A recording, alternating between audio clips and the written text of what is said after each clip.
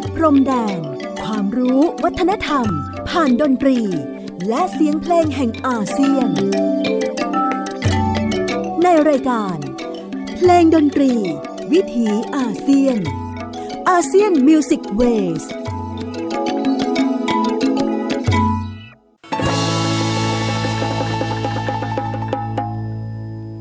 สวัสดีครับ คุณผู้ฟังที่เคารพนะครับ ขอต้อนรับทุกท่านเข้าสู่ช่วงเวลาของรายการเพลงดนตรี วิถีอาเซียน ASEAN Music Ways ออกอากาศทางไทย PBS Podcast w w w t h a i PBS Podcast com ผมอนันต์คงจากคณะดุริยางคศาสตร์ มหาวิทยาลัยศิลปากร มาพบปะครับทุกท่านเป็นประจำผ่านเรื่องราวของเสียงเพลงเสียงดนตรีที่เดินทางมาจากภูมิภาค เอเชียตะวันออกเฉียงใต้ หรือดินแดนที่เราสมมุติเรียกกันว่า ประชาคมอาเซียน ดินแดนที่มีความหลากหลายมหัศจรรย์ในทุกมิติ ไม่ว่าจะเป็นผู้คนชาติพันธุ์ ภาษา สังคม เศรษฐกิจ เทคโนโลยี การเมือง ความเชื่อ ศาสนา และในความแตกต่างหลากหลายนั้น เราสามารถที่จะเรียนรู้การอยู่ร่วมกันอย่างสันติได้ครับ เพลงดนตรีเป็นส่วนหนึ่งของวิธีการเรียนรู้ที่จะเปิดหู เปิดหัวใจ ยอมรับความแตกต่าง และเข้าใจในสิ่งที่เป็นรากร่วมของมนุษยชาติ วันนี้ครับเราเริ่มต้นรายการด้วยบทเพลงชื่ออีสานเขียวของจ็อบบรรจบหรือจ็อบทูดูนะครับ ซึ่งก็ถือว่าเป็นราชันเพลงแร็กเก้ของประเทศไทย แต่โดยเนื้อหาวันนี้จะไม่ได้อยู่ที่ฝั่งของคุณจ็อบบรรจบ ที่มักจะผลิตงานในพื้นที่ภาคใต้นะครับ แต่ว่าจะชวนกันไปอีสานไปยังดินแดนที่เรียกว่าเป็นที่ราบสูงแล้วก็ในมโนคติของหลายคนนั้น อีสานเป็นดินแดนแห้งแล้งนะครับ จนกระทั่งในที่สุดก็ต้องมีหนึ่งในมาตรการอดีต ซึ่งเราน่าจะคุ้นเคยคำว่าอีสานเขียวกันดี โครงการที่ เคยเกิดขึ้นในรัชกาลที่ผ่านมา โดยผ่านพระท่านนายกรัฐมนตรีพลเอกเปรม ตินสุนลานนท์ในอดีตนะครับ แล้วก็โยงไปจนถึงผู้นำอีกหลาย ๆ คน โดยเฉพาะพลเอกชวลิตยงใจยุทธ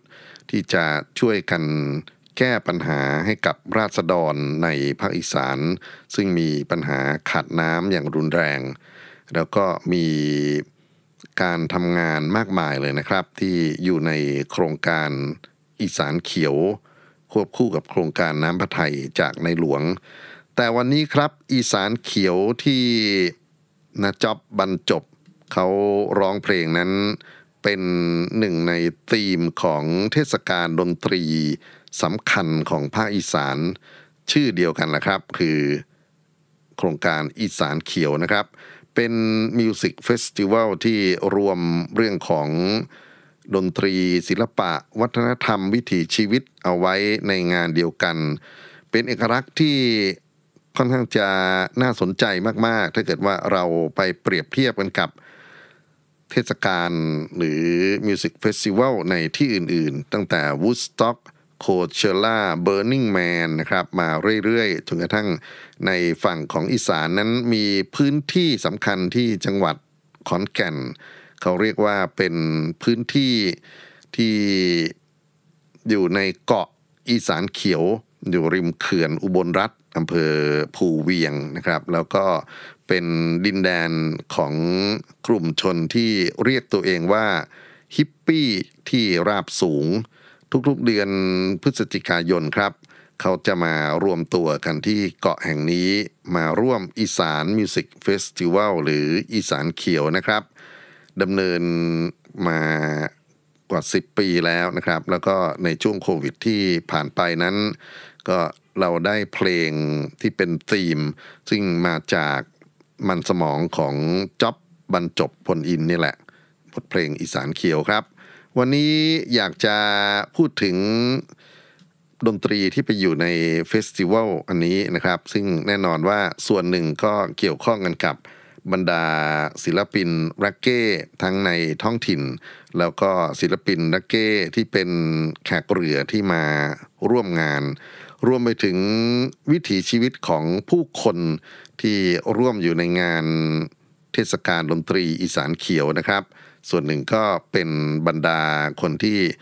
ใฝ่หาเรื่องของอิสรภาพเสรีภาพ และวิถีกัญชาคงหนีไม่พ้นครับ ในการมารองรับกับเรื่องนี้ ในอดีตการเสพกัญชา การมีกัญชาในครอบครอง คงเป็นเรื่องที่ต้อง ระวัดระวังกันนะครับ เป็นสิ่งที่ต้องปิดบังกันด้วยซ้ำแต่ณปัจจุบันเมื่อกัญชากลายเป็นพืชที่สามารถครอบครองได้อย่างถูกกฎหมาย รวมไปถึงการยอมรับกัญชาในส่วนของโอสถสำคัญนะครับ ในการเยียวยารักษาโรค ไปจนถึงการนำมาผสมอาหารการกิน ก็เป็นเรื่องปกติแล้วนะครับ ที่สังคมน่าจะเปิดใจ ผมย้อนไปที่อีสานเขียวคำว่าเขียวของเทศกาลดนตรีนั้น เป็นเรื่องที่เราสามารถเรียนรู้เพลงที่มีกัญชาซ่อนไว้ ไม่ใช่น้อยเลยทีเดียวนะครับ อยากจะยกตัวอย่าง ศิลปินดนตรีที่ใช้ชีวิตและผลงานอยู่ทั้งในอีสานแล้วก็เกี่ยวข้องกันกับงานอีสานเขียวด้วยนะครับ ก็อยากจะนับหนึ่งกันที่วงทรงคือ หรือชื่อเต็มๆว่าทรงคือริทึมเป็นวงดนตรีที่มีพื้นฐานดนตรีแร็กเก้เนี่ยแหละครับ แล้วก็เติบโตมานะครับใน พื้นที่ของจังหวัดขอนแก่น แล้วก็มีกิจกรรมมากมายในอีสาน ทุกวันนี้ไปติดตามเขาใน Facebook เขายังเห็นรับงานอยู่ทั่วไปนะครับ บทเพลงที่จะฟังต่อไปนี้ชื่อว่าอีสาน Enjoy จะเล่าเรื่องราวของรักเก้สายอีสานว่ามีวิถีชีวิตกันอย่างไร แล้วก็ต่อด้วยอีกเพลงหนึ่งนะครับ พูดถึงหนุ่มน้อยอีสาน ซึ่งภาษาพื้นเมืองคือบักหำวิถีชีวิตของบักหำเป็นหนึ่งในชีวิตที่มีความสุขมากๆนะครับ มีความสุขอย่างไรมารับฟังกันจากวงทรงคือริทึมสองเพลงครับ อีสานเอนจอยและบักหำครับ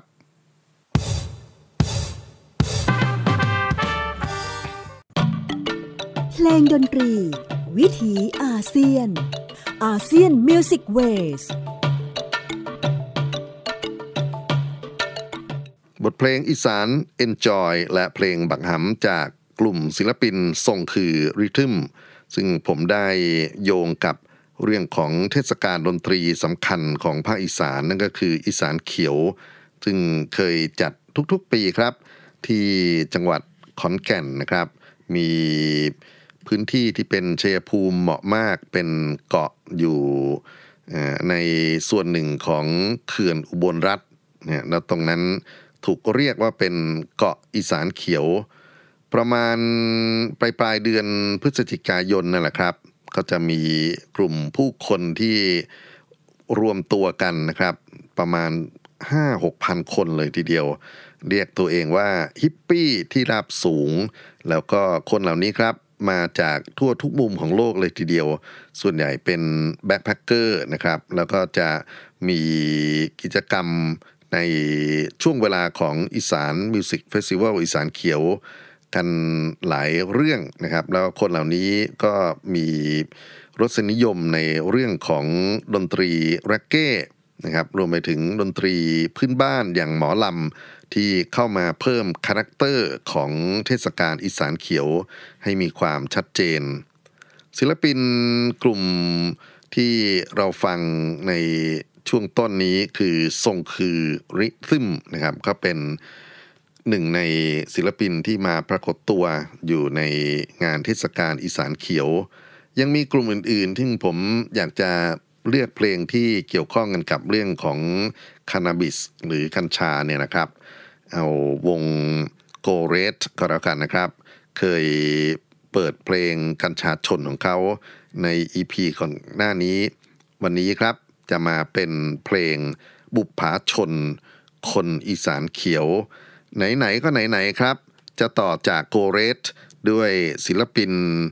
ชีวินโกมารทัศน์จากคณะขวัญใจนะครับ คนนี้เป็นคนอุดร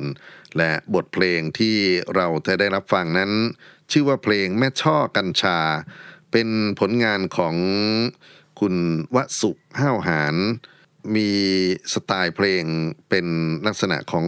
เพลงลูกทุ่งนะครับ ก็จะแตกต่างไปจากแร็กเก้ที่ผ่านๆมา แต่นี่ก็อยู่ในความทรงจำความนิยมของผู้คน ทั้งส่วนที่ไปคอนเสิร์ตอีสานเขียวแล้วก็ ช่อกัญชาก็เป็นหนึ่งในเพลงที่ดังมากครับ ที่ปรากฏอยู่ใน YouTube ทุกวันนี้ รับฟังต่อเนื่องกัน 2 เพลง บุพภาชน คนอีสานเขียว จากศิลปินโกเรสหรือทองแดงเนี่ยแหละครับ และเพลงแม่ช่อกัญชา จากศิลปินชีวินโกมารทัศน์คณะขวัญใจ รับฟังกันครับ บุพาชน เพลงดนตรี วิถีอาเซียน อาเซียนมิวสิกเวสผลงานเพลงของศิลปินที่มีส่วนร่วมในเทศกาลดนตรีอีสานเขียวนะครับ เราเริ่มต้นจาก บุพภาชนคนอีสานเขียว ศิลปินโกเรสและที่เพิ่งจบไปนี้ก็เป็นหนึ่งในศิลปินดังมาก เวลาที่เขามีเทศกาลดนตรีนั้น ก็จะมีมินักแฟนเพลงไปรอคอยกันเลยทีเดียวนะครับ คณะขวัญใจบทเพลงชื่อว่าแม่ช่อกัญชา ศิลปินชีวินโคมารทัศน์เป็นผู้ขับร้องครับ เจ้าของเพลงนั้นคือวัสุห้าวหาร ซึ่งก็เป็นนักแต่งเพลงลูกทุ่งชื่อดังคนหนึ่ง คราวนี้นอกเหนือจากอีสานเขียว ซึ่งคำว่าเขียวคงไม่ใช่แต่เรื่องของการพลิกฟื้นแผ่นดินอีสานมาสู่ความอุดมสมบูรณ์อย่างเดียวนะครับ แต่ความเขียวนั้นยังเป็นเรื่องของสัญญาลักษณ์นะครับหรือสัญญาศาสตร์ที่ว่าด้วยเรื่องของความผูกพันระหว่างผู้คนกับโอสถสีเขียว ซึ่งผมก็พยายามจะรวมเพลงมา เล่าเรื่องกันไปต่อเนื่องนะครับ คราวนี้นอกจากขอบเขตของพื้นที่เทศกาลดนตรีอีสานเขียวแล้วเนี่ย ความเขียวยังแพร่ไปถึงงานที่เป็นบรรดาวัยรุ่น ไปฟังดนตรีกันตามผับนะครับ แล้วก็มีเทศกาลดนตรีกลางแจ้ง รวมไปถึงการเอาเพลงของศิลปินกลุ่มต่อไปเนี้ยไป cover กับรถแห่ด้วย เพราะฉะนั้นก็อยากจะยกตัวอย่างงานของศิลปินเก๋าซึมนะครับพวกนี้ก็เป็นกลุ่มคนหนุ่มที่มีเรื่องของเพลงสร้างสรรค์อยู่มากมายเลยทีเดียว ผมจะ เปิด 3 เพลงต่อกันครับ ท่านผู้ฟังเริ่มด้วยกันชลีนะครับถ้าเกิดมาเราเรียกกัญชาว่าเป็นเพศชายกันชลีก็เป็นเพศหญิง คุณโต๊ดเก๋าซึมเป็นผู้ขับร้อง แล้วก็ต่อด้วยบทเพลงสนุกนะครับ ผลงานของคุณดุยเชียงลำมอบให้คุณสันโต๊ดเก๋าซึมขับร้องเช่นกัน บทเพลงชื่อว่าไปโดนตัวไหนมา เด็ดจริง ๆ ครับบทนี้ผมชอบมาก ๆ นะครับ แล้วก็จะปิดท้ายในช่วงนี้ด้วยบทเพลงเติมกัน กันที่ว่าสะกดด้วยกอไก่มนากาศยอหญิงเติมกันนะครับ มารับฟังจากศิลปินโต๊ดเก๋าซึมสามเพลงต่อเนื่องครับ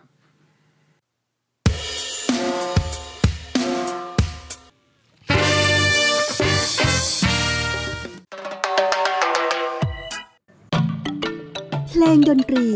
วิถีอาเซียน ASEAN Music Waveสามบทเพลงจากศิลปินโต๊ดเก๋าซึมนะครับ เราเริ่มต้นด้วยกันชลีต่อด้วยไปโดนตัวไหนมาสนุกมาก ๆ นะครับ แล้วก็เพิ่งจบในวันนี้ก็คือเติมกัน คราวนี้จะเป็นศิลปินที่อาจจะไม่ได้อยู่ในแวดวงของ พวกกลุ่มแร็กเก้หรือกลุ่ม music festival แต่ก็ถือว่าเป็นคนเก่งแล้วก็อนาคตไกลมาก ๆ คนหนึ่งนะครับ คุณบุ๊กสุภการประนตเป็นศิลปินหนุ่มน้อยจากบึงการเขาประพันธ์เพลงเอง เรียบเรียงดนตรีเอง แล้วก็โปรดิวซ์งานออกมาเป็นเรื่องเป็นราวมาก ๆ อยากจะให้มาติดตามเพลงต่อไปนี้ครับ ซึ่งเขาพูดถึงว่าเขาไม่ได้หลอนกัญชานะครับ บทเพลงชื่อว่าผีสางนางไม้ ยอดวิวใน YouTube สูงมากเลยครับ เพลงดนตรี วิถีอาเซียน ASEAN Music Waveผีสางนางไม้ผมไม่ได้หลอนกัญชาจากศิลปินบุ๊กสุปการประนตเป็นคนหนุ่มจากจังหวัดบึงกาฬ นะครับแล้วก็มาสร้างผลงานอยู่ในโลกโซเชียลมีเดียเยอะแยะไปหมดเลย ลองไปติดตามผลงานของเขาดูนะครับ บุ๊กสุปการ คราวนี้ดูเวลาแล้วคิดว่าคงถึงศิลปินรุ่นใหม่จากอีสานคนสุดท้ายนะครับ ของวันนี้ผมเรียกเอาศิลปิน Illslick นะฮะหรือชื่อจริงคือคุณทิคำพรเวท ไทยสงคุณโต้งเนี่ยแหละนะครับ เป็นชาวจังหวัดขอนแก่น แล้วก็มีความโดดเด่นในเรื่องของการขับร้องที่มีน้ำเสียงเป็นเอกลักษณ์นะครับ แล้วก็เป็นคนหูดีมาก ไม่มีการใช้พวกเอฟเฟกต์ต่างๆ ในการมาจูนมาช่วยเลยนะครับ ก็เป็นคนที่ประสบความสำเร็จ ในโลกของดนตรีแรปตั้งแต่ยังเด็กๆ แล้วก็แต่งเพลงขึ้นมาใหม่มากมายนะครับ เพลงแสงที่ไม่มีวันดับเพลงถ้าเธอต้องเลือกเพลงบอกฉันเพลงเครื่องบินนะครับ แล้วก็มีงานร่วมกับศิลปินอื่นๆ ที่อยู่ในสายของฮิปฮอปเช่นยังโอมไทยไทยนะครับ แล้วก็ชอนบุรณหิรันพวกนี้ วันนี้ครับผมจะ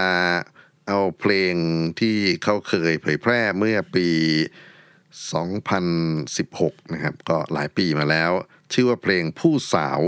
ไม่ใช่ผู้สาวขาเลาะนะ ผู้สาวธรรมดาเนี่ย แล้วก็เป็นทัศนคติเป็นแนวคิดของอิลสลิกร่วมกันกับศิลปินอีกท่านหนึ่งคือ DM นะครับ ที่จะพูดถึงผู้สาวจากฝั่งของคนที่มีโอสถอยู่ในหัวใจ วันนี้ครับล่ำลากันด้วย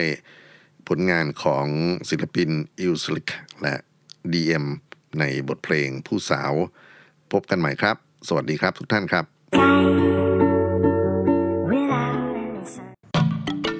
เพลงดนตรี วิถีอาเซียน ASEAN Music Wave